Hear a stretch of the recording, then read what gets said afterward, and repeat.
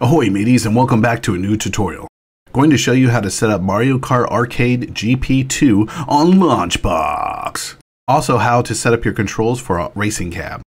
Let's start with downloading the Triforce 4.0-315 Dolphin emulator build.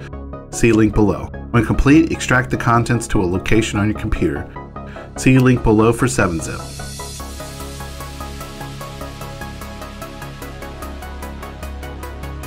Go into the new folder and run the executable. Go to configure, then click on the GameCube tab. Change all your settings to what you see in this video. Pause the video if needed.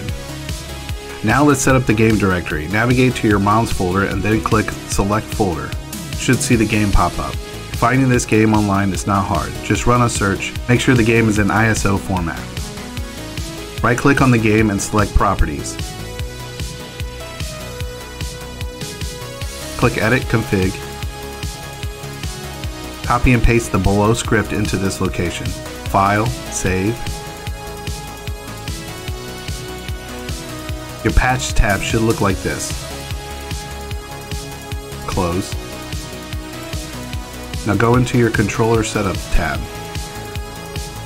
Make sure your controller is selected. I'm going to use an Xbox One controller. Only set up the controls for what you see in the video. Go to Options, then Graphic Settings. Under General, make sure the checkbox next to Use Full Screen is checked. Take a look at My Other Settings.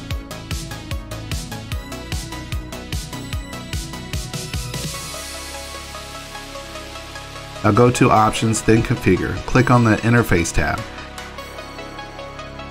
Make sure the Confirm on Stop checkbox is unchecked. Take a look at My Other Settings.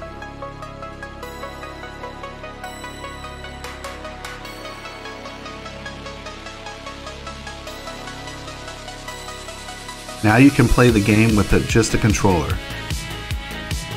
See the next part of the video for setting up the game on Launchbox. Open up Launchbox, go to Tools, Import, ROM Files. Next, Add Files. Navigate to your ROM and open. Next, for the platform, click on the drop down and select Nintendo GameCube. Next, manually configure emulator. Add, type the name of the emulator.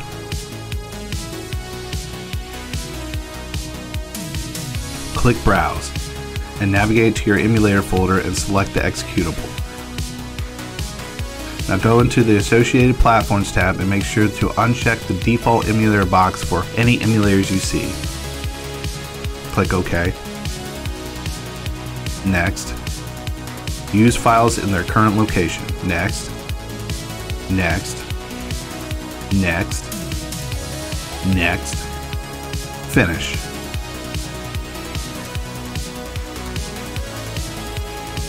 And that's it for setting up the game on Launchbox.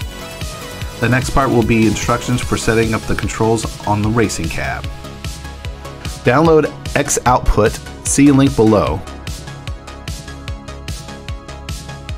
When complete, extract the contents to your computer. Open X Output, click the box next to Show All Input Devices, should see your wheel in the list. Click Add Controller. Select Edit. The top option will be for your steering wheel left and right. Click Configure. Move your wheel all the way to the left and then all the way to the right. Click Save. Click the right trigger configure button and press your gas pedal. Save. Click the left trigger configure button and press your brake pedal. Save. Make sure to click the invert button after. Now go through the rest of your buttons and set them up.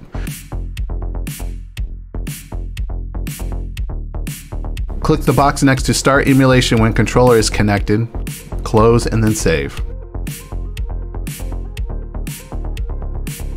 Now for the next part, I'm going to create some auto AutoHotkey scripts to load and close out of Xoutput for this game. I'm doing it this way because I'm not using Xoutput for all my games in Launchbox. Download and install auto AutoHotkey, see link below. After installing, find a location you want the script to stay in and right click. New, auto AutoHotkey script.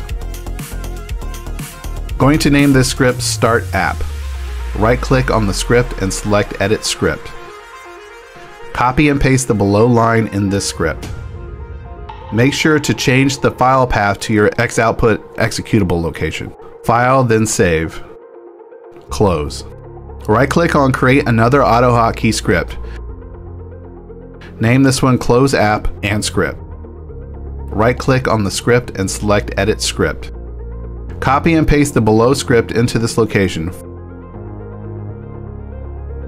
File, save, close. Select both files, right click, and compile script.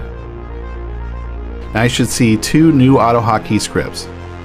Load Launchbox, click on the game, and then select Edit. Under Additional Apps, click Add Application.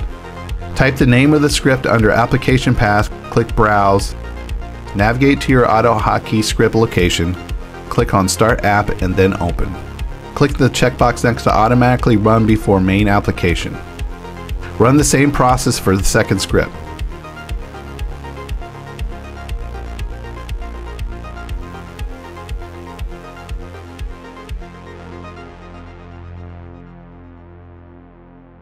Click OK when finished. And that's it, you're ready to play Mario Kart Arcade GP 2 on your racing cab. This game looks great, but I wasn't a big fan of the commentary voice they added. It gets annoying real quick. If you like this video and want to see more, turbo boost into the like button, green shell the subscribe button, and power slide into the bell for future notifications. Until next time, buckos, this is the Arcade Pirates sailing out. Everyone is planning their final push. Pac-Man shot an item. 4A. Toad is hit by the needle bomb. Pac-Man makes a perfect pass. Pac-Man shoots the square tire. 4A.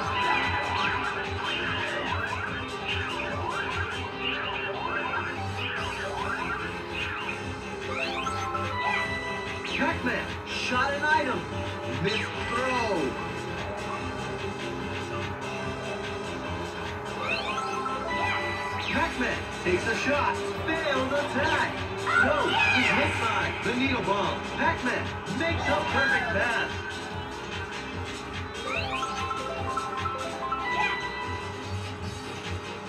The race is at the halfway mark. Pac-Man, leave everyone behind.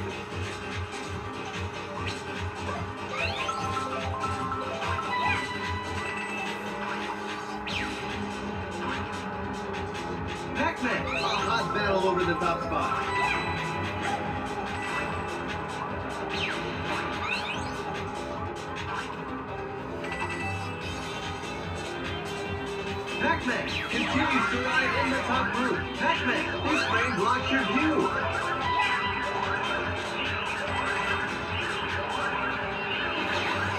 Pac-Man, tires are now split.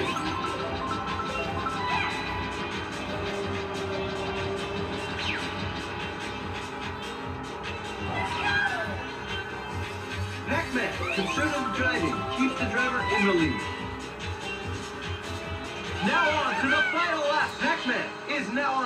There is no way to lose.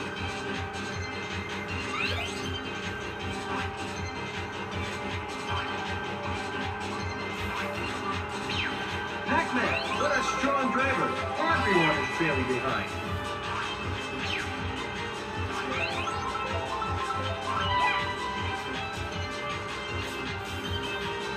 Pac-Man, how quick? A solitary journey.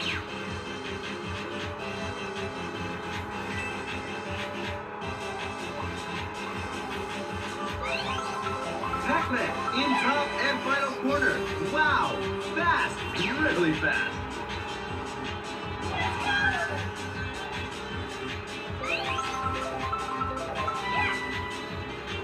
Item shot. The winner is Pac-Man. Outstanding run.